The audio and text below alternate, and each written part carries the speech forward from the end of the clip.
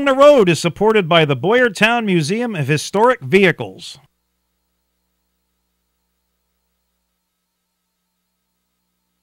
Good evening. Welcome to Wheels Along the Road, brought to you by the Boyertown Museum of Historic Vehicles. I'm Kendra Cook. The Boyertown Museum is open seven days a week from 9.30 a.m. to 4 p.m. We would love to see you there at the museum. Uh, if you'd like to contact us, uh, you can do that a number of ways. You can give us a call, uh, 610 367 2090, or send us an email, mail, M-A-I-L, at boyertownmuseum.org. And there you also have our street address if you'd like to come find us at 85 South Walnut Street in Boyertown, Pennsylvania. now, uh, I said we're open seven days a week. We are closed uh, major holidays, and we've got a couple of those coming up here this month. So, uh, in December, we will be closed on uh, December 24th and 25th, and uh, then on December 31st and January 1st. So uh, we're closed uh, both the eves and then Christmas Day and New Year's Day. But those days in between, uh, we are open uh, the 26th, uh, 27th, 28th, 29th, 30th. Um, that is a great time to uh, to bring the family, the kids. Um, people are visiting. The kids are home from school. They're getting some cabin fever. We'd love to see you over at the museum. Um, really great stuff at the museum. Lots of uh, Pennsylvania built vehicles, as well as uh, the Reading Diner and a gorgeous uh, 1920s uh, Sunoco gas station or Sun Oil gas station. And then, of course, uh, the Carriage Factory, uh, which is now open all seven days of the week. Um, we also have some special uh, vehicles on display with us right now for you to come check out. Uh, we have two uh, World War I Dodge Brothers trucks on display. They're out by our Sun Oil station. Um, very rare. It's hard to find some World War I vehicles still around. More on that tonight, I guess. Yes. Maybe. Um, and we also right now have uh, an exhibit in our lobby of pedal cars, uh, and they look great. They're on the back of a 57 Studebaker flatbed, I believe. Um, so that in itself is a really cool thing. Nice, nice exhibit. Kids love it. It's nice and colorful. So come see the pedal cars. Come see the World War One trucks. In addition to all the great stuff that we have. Um, we're, we don't have too many events here in the wintertime, except uh, this Friday night, uh, December 7th, we will be a stop on the Holiday House Tour, uh, which is uh, an event run by our friends over at the Boyertown Area Historical Society. Um, and we participate in that. And uh, if you want more information on that event, um, you can stop, visit us, and all the other great um, businesses and homes on the tour. You can go to their website at boyertownhistory.org. You'll be there, won't you? I will. Yeah, I'll be there too. So come, come visit us. Get some snacks. Chugging down hot dogs and That's, hot chocolate. That's right. And I do believe we have two blacksmiths coming, plus a third who will be running the machinery. So the carriage factory will be buzzing on Friday night. So Buzzing. we'd love to see you there. Buzzing. Um, and then uh, just a date to keep in mind in the new year February 23rd and 24th. That's a Saturday and a Sunday, and that's going to be um, a Hoods Up weekend at the museum. And if you haven't been to that before, it's really neat. Um, that's basically just what it sounds like. We open up the hoods on pretty much all the cars and trucks. They're normally closed, um, so this is a great time if you really are into the engines and the mechanics of the cars. That's a great time to come. Uh, that'll be February 23rd and 24th, and we'll have more info on that as we get closer to that date. But for now, uh, we're going to start with the program. So I am joined tonight, as always, by Mr. Dan Olsen. Good evening, Dan. Good evening. You're a Mister tonight. I noticed that. And uh, our regular viewers will recognize um, our other guest this evening, and that is Sam Fiorani. Hi, Sam. Hi, how are you? Thank you, as always, for joining us. it's Mr. Sam Fiorani. No, no, no, there's no mister. You're, you're a mister. You're- Makes me feel older. Next time Sam's on, I'll call him Mister, and I'll Okay. drop it from you. Okay. um, so uh, I, I, I kind of have a hint as to what Sam is going to talk about, but Dan, I have no idea what's on your list tonight. So uh, we're going to start off with you. What have you got for us? First this of all, do you know whose birthday it is today? It's not mine. No. And it's not yours. No. It's not yours either, is It's it? not mine. Okay. Okay. Well, then I'm out. Okay. You're the only people I know. Ma- Max Baer Jr. That's right. Yeah. I knew I forgot to send him a card. Yeah, Yeah, I know. yeah. I know. He's the guy who played Jethro on Beverly Hills. Yeah, Jethro Also, it's Wink Wink Martindale's birthday. Remember Wink? Yeah. Yes, I Game do. show host. But Wow. most important. Oh, wait, most there's another birthday? There is. This is the best one. My dad's birthday. Aww. 96 years old. So if you're watching Dad, happy birthday. happy birthday, And Dad. I was talking to him earlier tonight. So Well, I hope he's watching. yeah, he, he was planning on it. Good. So. That's so- awesome. Well, Okay. he is the most important of those. He is, yeah. I yeah. agree. He's a lot more important than Wink and Max. okay. Hey, anyway, um, my my drive over here from from my home in Boyertown is about a half hour. Uh-huh. Okay, it's dark outside, and one of the things um, you you that could be a problem driving in the dark um, in the country. You know, it's more pretty much rural type driving out there.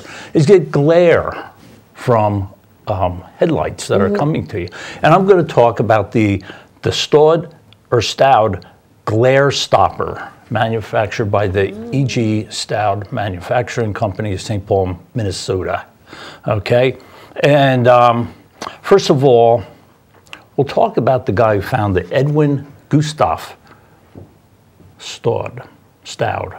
I wish I knew how to pronounce that name. Anyway, he was born in 1876, died in 1964. He had 143 patents in this country that included phonographs, garage door openers, envelope making machinery, mowing machines. Okay, he was big with um, envelopes, um, make you know like for letters. Someone's gotta do it, right? I guess so.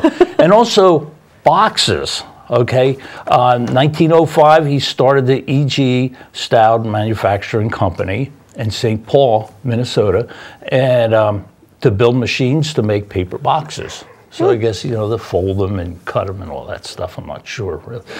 Eventually, that company was the world's largest manufacturer of paper box ma- paper box making machinery.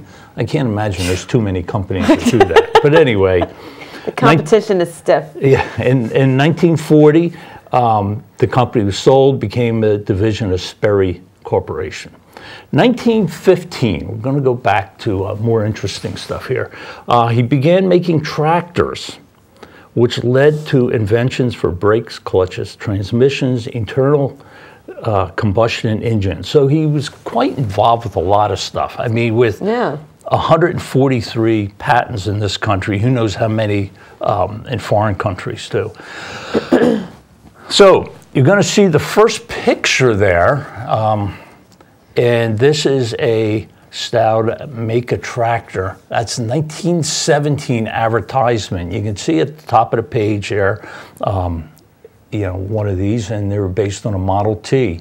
Um, if you show the next picture, you can see a better one of that same thing, um, kind of a side view. And they said it would take the work of four horses. Okay, if you could zoom up on the, the top part of that, please.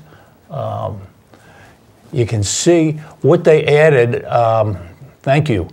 That's uh, kind of a ghost image of the car. You can see in the front they had a special radiator.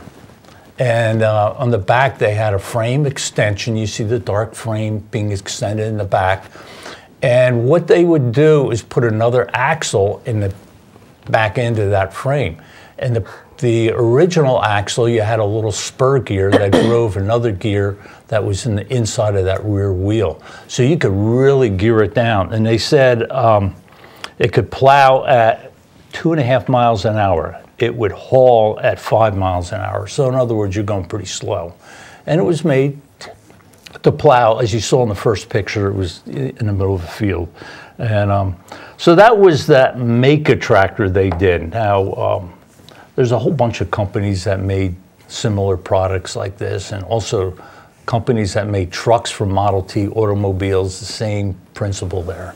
Um, but we're not really here to talk about tractors or trucks. But the next item, which is the Staude glare stopper. If you could show the next advertisement, please.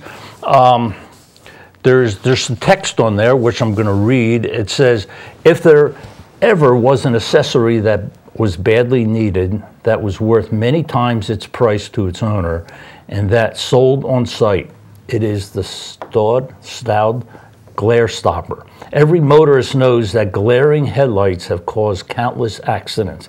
Every motorist has experienced a discomfort and sense of danger from such lights and counts himself fortunate if he has had no accident from them. Every motorist acknowledges the need of a device that will stop the glare and make driving safe. So there it is. You can see the whole, you you did see the whole advertisement. There we are again, and um, you can see these people are, are panicking because they got that glare in their eyes. As you know, there was a couple times driving here, I had glare. Not quite that bad, but you know.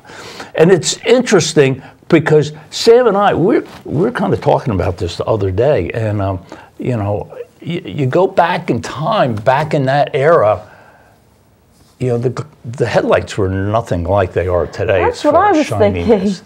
But I'm thinking these people driving, since it was so rare to drive at night, they weren't used to anything shining in their eyes, I guess. Well, so. I'm sure it, it, was probably also darker too. It was. I mean, yeah, the light pollution mm-hmm. that mm-hmm. we're kind of used to. So, so it was kind of interesting. Um, so this item, as you can see in, in, that advertisement, it was two and a half dollars for that, and it's a. Um, six and seven eighths diameter pure amber colored crystal lens, specially grounded and polished. Fastened to the windshield, top or side, right or left hand drive, and it was a nickel plated clamp.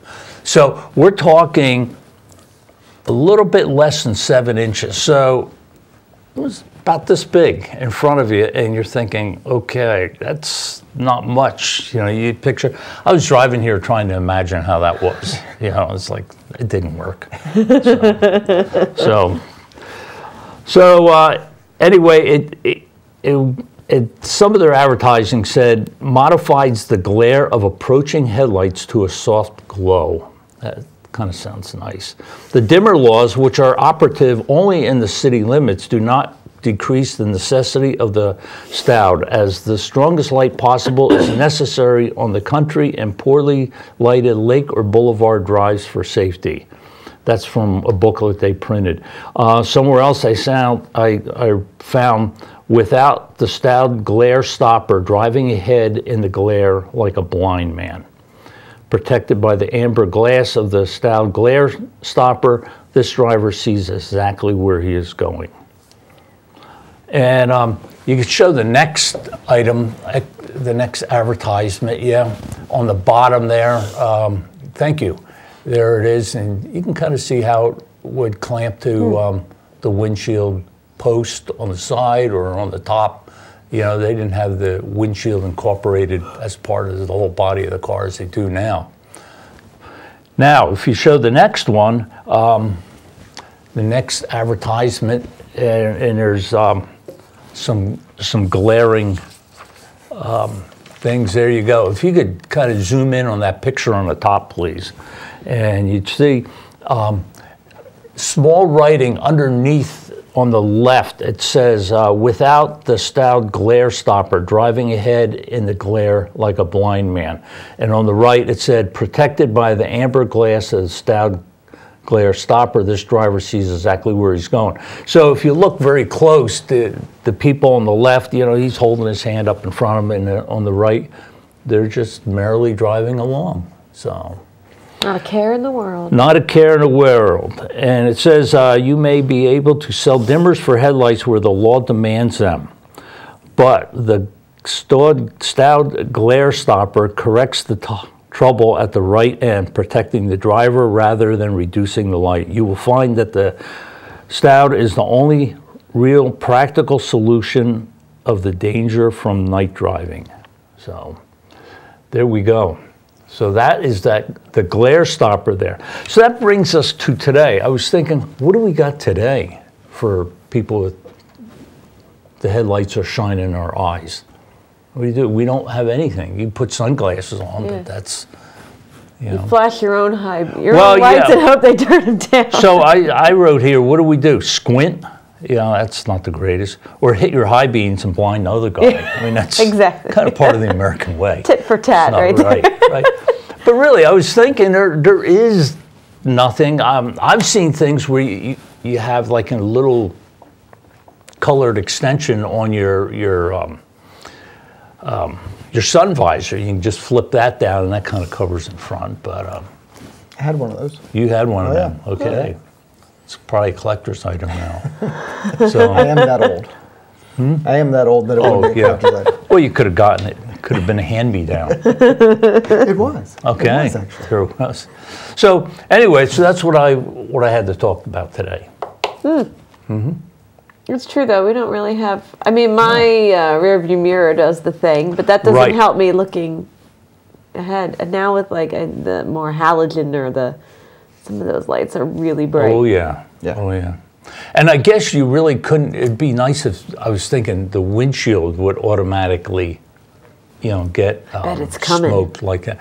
Yeah, but that's only if there's the glare in you. You, know, Yeah. you still can't see. You know, if you want to read a road sign or something. Yeah. Have We'll a have hard driverless time. cars soon, so you won't have to see anyway. Hmm? It's We'll have driverless cars. so Oh yeah. to see anything. Okay. There. We solved everything. Yeah, yeah, we're. That was easy. I want opaque windshields. I don't have to Yeah. see anything at all. Exactly. They can't see me. So. Right. Oh, and they, and they can't irritate me. That's the bigger problem. Very good. Okay. Very good. We need a modern day equivalent. Yep. I'll work on it. Okay, Good. good. Get to him. Well, this guy, too bad he's not still alive. He apparently likes to write his patents. So. Yeah. All right. Well, uh, thank you. You're welcome. The magazine left. Oh, No. Next time? you wanted to show that? No, that's Well, all it could be next time. Okay, Yeah. all right, all right. Yeah, I, I, I gave Kendra a project and she's going to present got- something really, uh, and the next show is going to be fabulous. homework. Yeah. Homework. Well, being you're a, um, a fashion a leader in the Yeah, that's right. world, I am the a fashion maven right here. Is that what they're called? Okay. Yeah, okay. All right, uh, Sam, again, welcome to the show. Thanks Thank for joining us, as always. And um, we went to Minnesota with the glare stopper, so we're going to come back closer to home, I guess. A little now. bit closer. So, yeah, go ahead. And then further got? away. Oh, okay.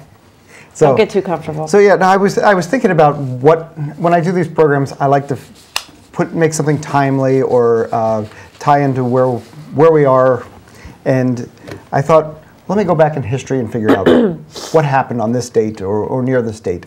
So I went back and I My thought, dad was born. hey, your dad was born. there you go. I didn't know that at the time. I would have done a whole other presentation. Uh, uh, perhaps I should do one on the Beverly Hillbillies. That, that would work too. There you go. But I, We'd, we'd be up for that. so I went back to 75 years, and that was World War II. And, and during World War II, they didn't they stopped automotive production, so there wasn't a lot to go on there. So I went back 100 years, and 100 years ago, last month was the end of World War One, and it was the the Great War. Uh, if you to pull up the slides, I'll show you this. It, last month was the end of was the 100th anniversary of the end of World War One, and uh, this marked the end of all wars the war to end all wars. And this got me thinking about warfare and vehicles that needed support from, from the soldiers. Some warfare specialists in, engineered the idea at the, at the war front, tools should be uh, similar enough that any regiment could quickly repair their, their equipment on the battlefield. And the idea of homogenized equipment gave us things like the M1 Garand, the greatest battle implement ever devised. General George S. Patton said that about this, which was used from the 30s through the 50s. Nearly five and a half million of these rifles were made, and countless service personnel learned how to disassemble, assemble, clean, load, and fire these. Uh, as a matter of fact, uh, my father collected one. He had uh, one about this the same generation. Then when you add on to that, you have The AM General M1151 high mobility multi-purpose wheeled vehicle, otherwise known as the Humvee. And between 1984 and today, they built over 280,000 of these. Uh, they've been produced and deployed all over the world. Uh, unlike the M1, the Humvee is produced in one factory in Mishawaka, Illinois, Indiana, by AM General, but has used a GM developed diesel engine and a three speed or four speed automatic. It's been very consistent so that anyone, anywhere in the world could fix one. And then, of course, there was the U.S. Army quarter ton 4x4 command reconnaissance, also known as the G 503, or the general purpose, or simply known as the Jeep. Uh, General George Marshall said it was America's greatest contribution to modern warfare, and is considered an international historic mechanical engineering landmark by the American Society of Mechanical Engineers. Uh, initially designed by Pennsylvania based American Bantam, the Jeep was produced by Willys-Overland and Ford. Willys produced nearly 360,000 of them, and Ford made about 278,000. I like the one that's Nope, that's flying. Was- Oh, yeah. No, that's- that, they're rare. That's they're real the, rare. the flying Jeep. That's a Flying great one. Jeep, yeah. Yes. but uh, the the idea of the standardized tools was part of World War One, and and then through World War Two, this was it became the Jeep. But prior to that, there was the Liberty truck. This is the Class B standardized military truck. It's a monster. It is. It is big. It was. It was. Um, it took a about a. We were only in the war for just over a year and a half, but the army developed this product. Uh, the Society of Automotive Engineers and the Quartermaster Corps in develop, developed the Liberty truck. The concept was for a three to five ton truck, rugged enough for unpaved roads at the time, and it took just 69 days from final design to running prototypes in 1917 to design it. Wow. Power came from a flathead four cylinder gasoline engine. Uh, it's four and three quarter inch bore and six inch stroke. This engine displaced 425 cubic inches for a four cylinder. That's nearly seven liters. Uh, using a crankcase and aluminum block from Continental, iron cylinder heads from Waukesha, oiling system from Wisconsin and Buda, timing gear from Buda Continental in Wisconsin, and the governor from Kelly Springfield and Waukesha, and pistons from Hercules. This was a massive engine that generated 52 horsepower and could, could propel the truck to a top speed of 17 miles an hour. What what size was the engine cubic inch again? 425. Four cylinder. Four cylinder, yeah. It, it's a big engine. Matter of fact, here's how big the engine is. This is a guy sitting behind one of them. Oh my gosh. You can see there's two different uh, cylinder heads there, and it, it is a massive engine. This one's from the First Division Museum in Cantigny, uh, in Wheaton, Illinois. Uh, they have one they've been restoring for years. There's a great website where you can see all the, the development they've done on restoring their car, their truck. So here's a shot of an early prototype being tested in December of 17. The first two prototypes were tested and driven to Washington, D.C. without any major issues. They were presented to the Secretary of War on October 19, 1970, 17. With some tweaks, the truck was approved for production. 150 companies were charged with providing components for the truck, and 15 companies were given contracts to build the trucks. Productions of the first series trucks began in, 19, in January of 1918, and assembly took place at Brockway in Cor- Cortland, New York, Diamond T in Chicago, Garford in Lima, Ohio, Gramm-Bernstein in Lima, Ohio, Indiana in Indianapolis, Kelly Springfield in Springfield, Ohio, Packard in Detroit, Pierce Arrow in Buffalo, Republic in Alma, Michigan, Selden in Rochester, New York, Service in Wabash, Wabash, Indiana, Sterling in Milwaukee, United States Motor Truck in Covington, Kentucky, Velie in Moline, and Bethlehem Motor Truck in Allentown. here's a picture of about 30. I counted them. There's hmm. about 30 trucks in this picture. And uh, these were in front of the, near the Brockway plant. And Brockway built 589 in all told.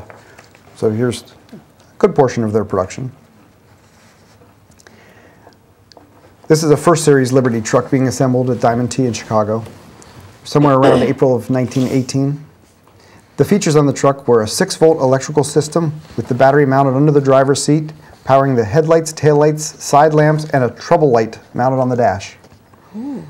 There's a huge radiator on top there with a screw cap on it, which marked the first generation. It has uh, angled leaf spring oil cups, 10 leaves in the front springs and 17 in the rear. And the wheels up front were 36 inches by 5 inches wide, and the duals in the rear were 40 inches high by 6 inches wide. And they were on wooden spokes or steel wheels, because both were used in the first generation. Here's another view of the Diamond T assembly line. And if you look carefully, on the left side are Diamond T trucks, but on the right side are the Liberty trucks in early production. Uh, this picture is again from around April of 1918. See, so I, I'm gathering it wasn't like World War II where they stopped production of, we'll say, civilian vehicles. Right. They, had both of them going on. at the No, no, they were they, they were building stuff for the homeland. There was there weren't as much wasn't as much rationing as there was in the Second World War, and we were only in the war for a year and a half. So, um, so the, these the trucks on the right are being built by Quartermaster Corps soldiers from Camp Dodge, Iowa, and they're training to build the trucks there. It's called free labor. They helped Right. design the truck.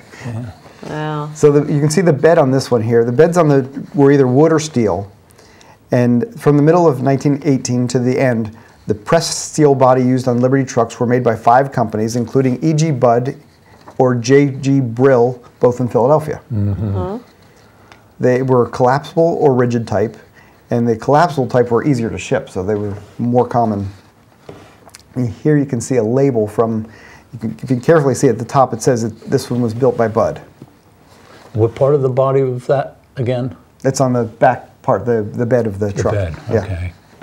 Because we had a, a, a Packard World War One truck. It wasn't one of these, but the bed on that was from plans of uh, that was Budd. Brill. No, Brill. Brill. I'm sorry. Okay, yep. So, and I was I was wondering about this because it's sort of same. Yeah, Type no, of bed. It's the same type. Yeah. Okay. Yeah, you can bring the slides back up here because the, the beds were. Um, I'll show you this next slide here. This is uh, this is a great picture here. I love this one. This is uh, these are in France, sometime around the end of the war, just after the end of the war. Uh, most of these are first series trucks, and this was uh, the picture said it was uh, advanced section, first and second armies in Bourg Haute Marne, France, June of 1919. According to government directives of all army and escort wagons, the trucks were painted olive drab, described as a shade that resembles the natural color of olives, far more than the greener generic OD number 2 or OD number 7 we have come to know and love from the days of World War II. It was a semi-gloss that would dull over time with use. And if you're looking for it, I have the recipe for it. It's six pounds of white lead ground with raw linseed oil, one pound of burnt umber, one pint of turpentine, one pint of Japan dryer, and one quart of raw linseed oil. As you can tell, the, it's hard to find uh, white lead anymore, so it's uh, difficult to create recreate the paint. But there's a there is a company in Pennsylvania that restored the, that recreated the paint for that uh, restored one in uh, in the Midwest. So this one here is a second series. This is the rarer truck of the two. And there's the steel wheels on it. This think you said the early ones had wood wheels. steel or wood. Oh, okay. Yeah. Okay. Well, on this one here, um, improvements on this one. This one has oil lamps instead of the electrical lamps on the first generation. The idea was that the oil lamps made it easier to fix on the front lines because a lot of the soldiers would have been farmers, and they would have known how to fix an oil lamp rather than electricity. That's, that's interesting. It is. Also, it makes it easier to assemble because you don't have the wiring harness. So you just put the dashboard in, and there are, there are actually three lights on this. There are two on the dashboard and one mounted, a spotlight mounted above the dashboard. and talking about how bright they were. They were not bright. Uh, there was a there were two fuel tanks, and there was a manual pump in, added on this one so that you could manually pump the gas from one tank to the other. The grab handles on the side were enlarged so that soldiers could help themselves up into the truck. They shortened the front fenders. and The front fenders on these only come up about halfway around the, the front wheels, whereas the other ones wrapped almost over. Uh, the starter was improved. The, the magneto, we were talking the other, actually, Dan and I were talking the other day about Bosch magnetos. These had Bosch magnetos, uh, which replaced uh, ones that were made by three different companies prior to that. The leaf spring oil cups were now vertical for better use. The prop shaft was supplied by Spicer, and they added two more leaves to the front springs and three more to the rear. They, uh, the electric, the gas lights in these were uh, also fueled by kerosene, which was easier to find when you're roaming around the, uh, France.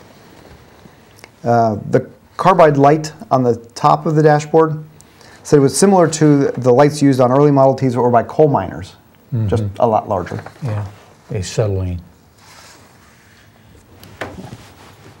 Uh, approximately 70, 8,789 trucks were built between January of 18 and November of 19, plus a few thousand more that were built until the end of 20. Of the total, 675, pardon, 675 were built by Bethlehem Motor Truck in Allentown. This is a postcard here of uh, Bethlehem Truck. Uh, Bethlehem started production in 1917, and the company assembled the three-quarter ton, one ton, sorry, three-quarter ton, one and a half ton, two and a half ton, and three and a half ton trucks on their own, in addition to the Liberty trucks. Here's a picture of an ad from uh, Liberty, from uh, Beth- the Bethlehem trucks. These are not Liberty trucks. Um, these are. This is from about 1920. And then from the brochure, oh, here's another ad for you. These are for the delivery boy trucks that we were talking about. So this is from the brochure, which shows the plant in Allentown that built the, the trucks. Um, Bethlehem built the trucks in Allentown, but the engines were not built there. Engines were built by, uh, I, I got here, the Pottstown-based Potter Mackey made armaments for the Italian Army before reorganizing as North American Motors in 1916. North American supplied the engines to Bethlehem Trucks from their Queen Street plant in Pottstown. Eventually, Bethlehem would purchase North American. But this plant, this building still stands.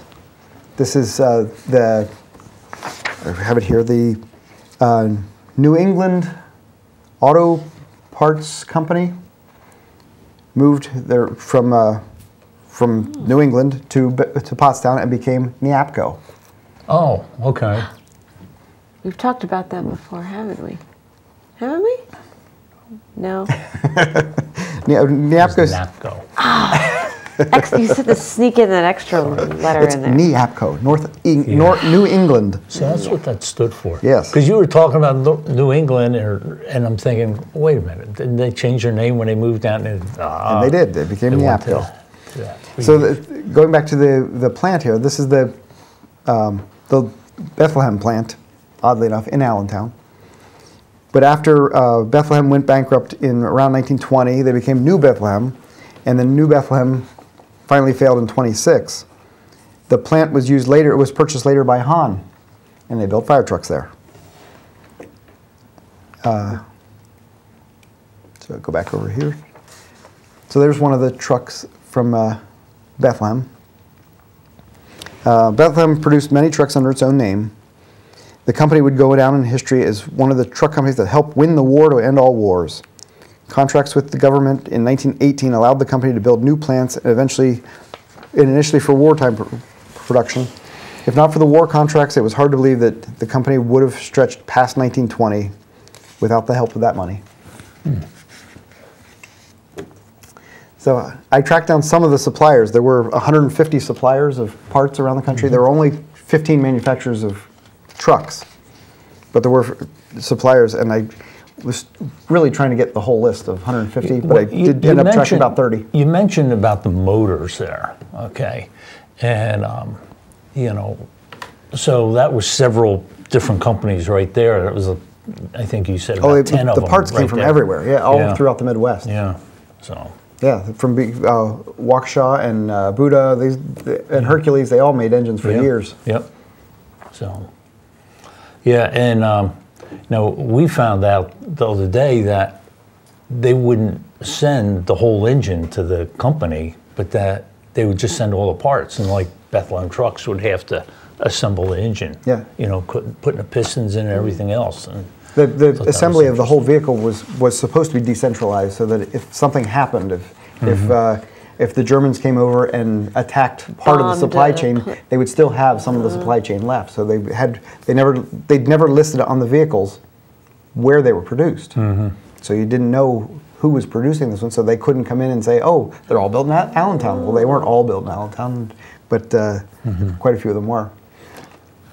And they did, they did break down the numbers. They had, I had the numbers of all of them, and a couple of companies, like four companies built a thousand each, and then like Packard built five. So they ranged, ranged a wide, now, how, how many were all together again? just under 8,800 8,800. Okay. How many? during World uh, wartime, but they did produce them after the war. So all told, it was somewhere, I read numbers between 12,000 and 20,000 were totally produced. Okay, and um, how many do they think exist today? Did you come across That I ha- that? have not been able to find. I have been able to find half a dozen or so uh, in different states of uh, restoration, and uh, and considerable number of them running. Yeah, A hundred years on, that's pretty good. yeah. I think maybe because they had pretty much a, a, a common engine. too, Right. You know, common as far as back then. Uh, Yeah, and So there would be parts for them today probably being made. So, thinking of all the, the commonality between the, the engines, it was, I thought that was amazing because it was only a few years earlier that Cadillac had come up with the idea of building a, um, an engine that could be put together with the same parts. Because prior to about 1910, every part was handmade Yeah, for the vehicles, different. so it was it was very difficult to Yeah. to just get a replacement part. What, what's interesting is, you know, everybody looks at World War II as, you know, the whole industrial might of this country and, you know, putting aside all the civilian stuff and, okay, for the war effort. And, you know, they didn't do that in World War One, but this is kind of like a, a taste. It's almost mm-hmm. like a test, okay? See if we can do it. And the government came up with, I guess they, you know, came up with all the logistics and organization and standardization and all that. And, you know, enough where they made, you know, 8,800 trucks for the war effort. And, Well, 8,800 trucks over 15 different companies, so Yeah. they, they could have similar enough parts Yep. to to repair them in the field. yeah. Hmm. So, you And know, it- they probably had that with other other things too. You know. Oh, like the guns, like I mentioned on the guns. The Right. guns were made so that every soldier could take it apart, put it back together, and would mm-hmm. know how to do that. And just like the, the trucks, you would mm-hmm. have to have your mechanic, no matter how much education they had on building, on preparing trucks, to be able to fix that truck. But I did track down about uh, uh, 18 museums that have them around the country. Okay. Um, and in different states. They, and I did find there was actually at least one in France Okay. that still has one there. Wow. Should be 19 museums. Hint, hint. Yeah. we need one. If anybody has a Bethlehem built World War One truck out there, We're looking for it. yeah. So now I know when we talk again World War II, we have uh, the ambulance at the museum. When we talk about that, we think we have it because it never made it over to the war. So is that kind of the same? I mean, these things are monsters. Like The- I can't imagine yeah. them bringing all of them back over after the war. Or maybe they did. I mean, did we just leave a lot of them sitting over there in Europe? I don't know that. I, I don't know how many. Yeah. There's a picture of, of a number of them. I, that picture Yeah. was so big I couldn't count them all in the picture. Yeah. But there, there had to be 30 or 40 of them in that one picture in France. So a lot of them made it over there, Yeah. but I, I don't know how many of them made it back. I s- and I look at that picture, I just think, and they're probably all sitting there. Like, still, well, in a way, And you know some what I guy's barn. mean. And some guys, bu- some guy built a barn around them, and they're still sitting there. That would be a good barn find. Wouldn't it though? Yeah, that would be great. And if we could just find one for Boyertown. Yes. It's a very like Snidely Whiplash kind of thing over there. Huh. Yeah, if anyone's got one sitting in their barn, let us know. huh. Now, why do they call it Bethlehem, even though it's in Allentown? Do you know that? That I don't have. I don't have the answer on that I always wondered that. Yes. There, I mean, those trucks in general are hard to find too. Uh, I noticed some of those that you were mentioning too. I mean, I mean Packard, everyone knows that, but Garford, I know they're hard to find too. I mean, a lot of these companies didn't last probably much longer after the war was over. Yeah, there are only a handful of the, the companies that manufacture them that I've Yeah, that I could say I've seen a truck like that. Yeah. Like, you know, a Packard or a Pierce Arrow. I've seen those, yeah. Hmm. Very cool. or or a Selden that we just saw in a collection recently. yes. Good old George Selden. He deserves a TV show segment sometime. Didn't we do one? George Selden? George Selden. You know what? Maybe we did. I have to look back. George Yeah, Selden is an look back. I George Selden is an interesting character, in my opinion. So, very cool. Great. And I think because we love Sam so much, we're relying on him to do car quiz for us tonight too. As as always, I like to stump Dan, so I, I have brought ones to stump Dan. Excellent. Normally, my, my car quiz ones are really obscure things, but I picked all American cars this time, all post war cars this time. All right. But I have little snippets of these cars so they can stump Dan. The challenge is on. And we can try to stump you folks at home too. So, You, you say that there's, excuse me, little snippets of these cars. Do you also have a picture of the whole vehicle? Of course, I for- have. A, I can show the whole car. Come on. That's good. just, just checking.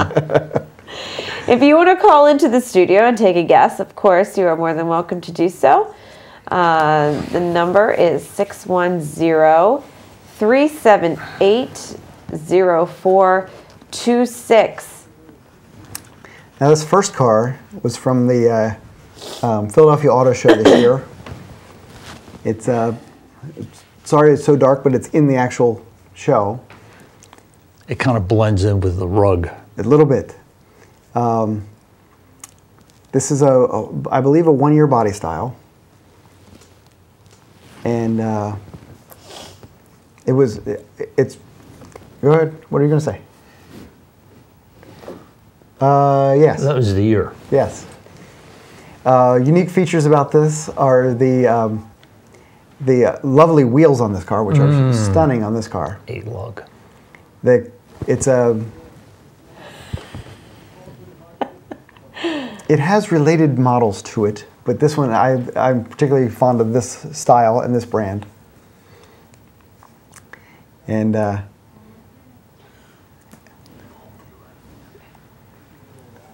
Sounds like maybe s- we might. Hello? go ahead, uh, Vero, do you have a guess on that go. one? We have a home viewer. Uh, would that be a, by a 61 Pontiac Catalina? It's a Ventura, but yes, it is a it is a 61 Pontiac. There's the front of it. Yeah. Do you know anything about this car? Uh, not about that car, but I mean, I, I, I sort of grew up in that age, so I knew the cars put pretty well back then. So, but uh, I, I, I, I myself, I had a '65 Pontiac Catalina with a 389 and it was a two barrel one, but they're very nice cars and uh, they're comfortable cars also. Did, did your 65 have the eight lug wheels? No, no, it just had the five lug wheel. Yeah, that, that was the thing I thought was very interesting about this car was they had they had gone to the they have the uh, rare eight lug wheels on this. Oh yeah, yeah. I, I guess like everything else, by the time 65 come around, they cut back on things just like they do with the cars today. Cut back on everything, make them cheaper. You know. I, I think that any year those were rare. oh yeah, yeah. They're very nice cars. I like uh, what my neighbor. Uh, I grew up. I grew up in, in Reading. my neighbor down the street, he had uh, he had he had a 61 Catalina, a yellow one. You know, it was a, a very pretty car. You know. Yeah, it's a lovely car with the thin pillars and the long styling. It was a sh- very sharp car. Uh, yeah, very, in- very interesting show. It's always uh, uh, nice to see Sam back on the show. There, it's uh, it's always he always has some interesting subjects to deal with. Here, so Thank you very much. Yeah, You he's quite well. all right. Take care. Have a good rest of the night. Okay. Thank you. Thank you. Bye. Thank you. Now, the, the, the 62s were very similar to that. They- they to me, they were a little softer than that. Yeah, like they have different taillights and, the uh, taillights different- were a little more rounded, Right. and the, the front, um, the, the split of the grill was a little more pronounced. Yeah, it was about this time that they started putting in the splits. Yeah, I like uh, I like the 62s and uh, Yeah. a little better. And it's interesting back then, you know, like GM was like totally out of racing. Mm-hmm. But Pontiac was kind of like sneaking everything, and they had the high performance this and that. I mean, we were talking about the wheels before, Right. Because they were, you know, the brakes and everything was in them, and they had um, so-called factory-back stuff with uh, Jim Wangers. Wang- Did I say his yeah. name right? And you know, he was working with Pontiacs back then. So It's really neat stuff back then. Absolutely. No, this- That's Jay Christ in the back. Yes, Oh, we, yeah. we recognize the The- truck. the milk truck behind in the there. back. yeah, Yeah. the milk truck back there. I had I had a picture of that. I thought about bringing that one. too. Ah, yeah. Divco, Divco. So, So my, so my quiz for Dan starts with the next one here. oh, okay. There we go. We have a logo. You can clearly see it's on a hood. Okay. It's a one-year logo. Actually, the I did spot another year that had the same one, but the hood makes marks it as a single-year vehicle. He's, he's trying to trick you. I, it was. I, I wanted to go- he was- he I was to go- upfront about it. I wanted to go a year later, which is my favorite one, but the name I realized was prominently inside the logo, so I oh. had to go a year earlier. Oh. Uh-huh. This is back from my childhood. Yeah, back when we had the uh, flaming chickens on cars and. Well, you know, my, my first thing I wanted to say was a um, was the, the Firebird, the Trans Am. Yeah. But I'm guessing it's That's not, not, a that Firebird. easy. Nope. No. No, I wouldn't do that to you. But I did. s- I, I remember reading something about another car that had something like that.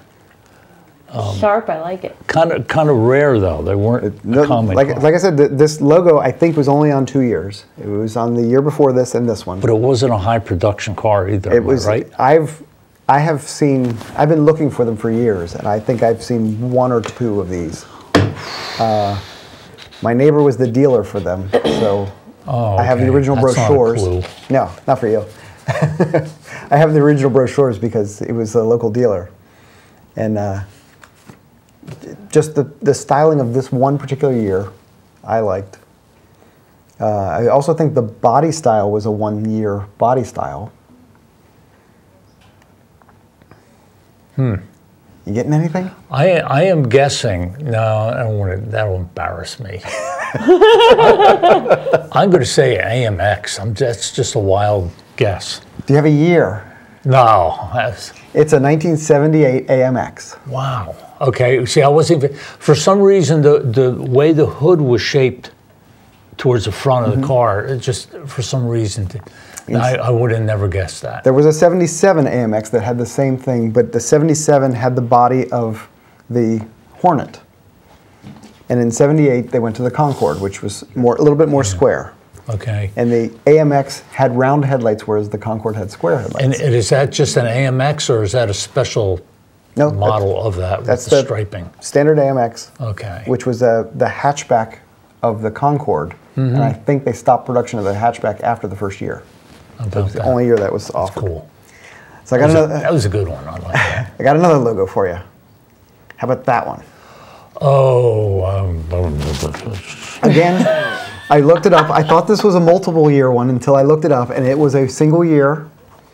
Uh, I do remember the advertising for them being all over the place.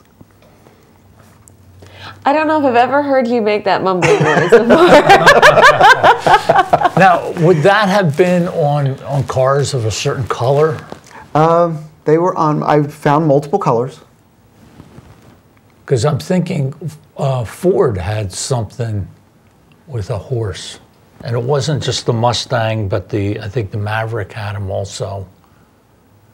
Man, I would, thought I'd get you on this one. That was the '76 Maverick, Mustang, and Pinto Stallion. Okay. And I, the ones I remember seeing pictures of, they were like, like a, like a gold color. like darker than that Mustang there. Well, the, I know the, With- the with Pinto and the black. Maverick there in, in the two-tone grays. Yeah. That was a common mix. But the yellow, I don't remember ever seeing the Mustang 2 yellow in person. But they all had the, you can see it on the front fender there. They all wore the stallion. Yeah, kind of a big, uh, a big logo or Yeah, it was, decal it was or something. good size for what, Hmm. were relatively small cars. But it was it was only in '76. Okay. The Maverick that was the last year for the '77 was the last year for the Maverick, and they didn't offer it in there. And it was only on that body style of the Pinto and um, Mustang 2. So I got I got a real good one for you here. Okay. This one is Daffy Duck on a car. It's maroon. It's Daffy Duck. It is Daffy Duck. Look at that. Angry Daffy Duck. Is that supposed to be Daffy Duck? It well, look at it. Isn't it Daffy well, Duck? yeah, it is. But Tell me it's not Daffy Duck. okay, it's not the no. It was on cars for eight years. And if you can't tell me what that one is, I have no clue. it's not that old. Is it, ah okay? This is like a That's- Rorschach test. It is kind of. I'm seeing different animals on the longer I Kendra's look little. at it. That's on Kendra's little gold car. Orange. Orange, copper, orange. whatever that thing. No, I don't have the faintest idea. Oh, come on. You know that. You can see it. Well, if he can't. Look at it Maybe- carefully. Maybe See, someone I, I'm thinking- I think Kendra it. has it. Kendra has it. I'm thinking Daffy Duck though. That's, So that's you what's planted the me. seed, I- that's- that- and now it's messing with us. yeah, it is. Maybe someone at home knows it. Does anyone at home know what this one is? Come on, it's, it, it is Daffy Duck. Look at it. Yeah, it does. Yeah, it does kind it is. like that. Yeah, But I like the, the Rorschach test. That's the, it is. you plant the seed, you tell them, tell Uh-huh. them what it is, and I can't see it. Can't Well, not see it. I know. I'm, like I said, now I, I see more animals. The more I look, the more I think of other. I'm, I'm starting to see an elephant now, and no, I, no, like a I- cloud. I, It's don't like- have anything. It's Like figuring out the, from the clouds. Oh, I just heard. Thank you for the clue, camera guy. Yeah, I wouldn't have never guessed it. So yeah, Oh, oh. it's the Dodge Viper. Oh. You can see on the right side had is the the Daffy Duck, and flip it over, and it is the Viper head. Oh, okay, it was upside down. Oh, Yeah, from 2003 to 2010, that was the logo on the Viper. so yeah, Oh my, we've got Okay. two home viewers. All right, who's first? Good evening. Hello, uh, I'm Mac Mulvaney. I was going to say it was an upside down snake. It looked like a viper. Sam, that was a dirty trick, Sam. that's what I'm here for. Yeah, Have you seen that one before? Yo, Oh, I think we maybe have another home viewer on the line. Hello. hello. Um, I was going to call in on the Viper, but uh, I missed the timing on that. Did you did you see that logo before? That upside down logo? oh yeah, yeah. That, was- that was that was easy. I can't believe Dan didn't get that one. sorry. Have fun. See ya. Thanks so much. Hey. It was the it was the Daffy Duck. you ruined him. See, if you plant those seeds, it, it works every time. Okay. Yeah. If I if I play uh, Led Zeppelin backwards, you'll hear it too. You know. Yeah. okay. That's that's all I had for you. Oh, okay. But uh, yeah, I thought you'd enjoy those. I did. I, I, I thought that was was different. different.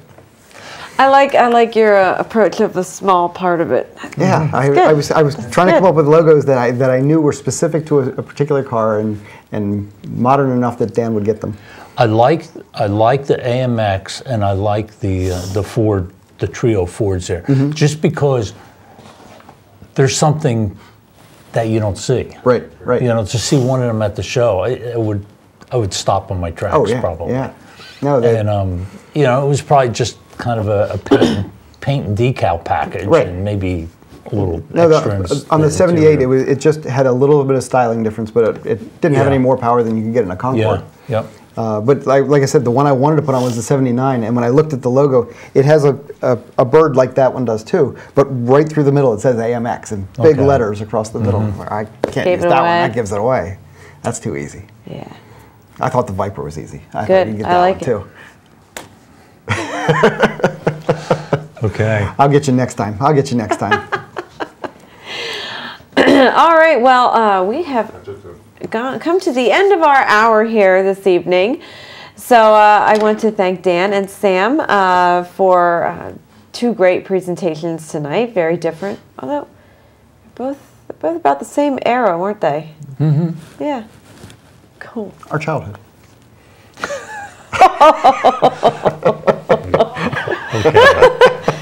You guys look very good for your age. Be proud. um, again, um, this uh, Thursday, December 7th, if you'd like to join us for the Holiday House Tour, um, visit uh, BoyerTownHistory.org. That's the Friday. Did You I said Thursday. Did I? Yeah. You don't come Thursday night. We won't be there. Friday. Uh, BoyerTownHistory.org. Our friends over at the Historical Society. If you want information for tickets, and uh, again, um, come visit us uh, between. Christmas Day and New Year's Eve. We're open. We'd love to see you. And uh, we've got lots of great stuff at the museum. Hope to see you soon. If not, we will see you here on BCTV in 2019. Thank you.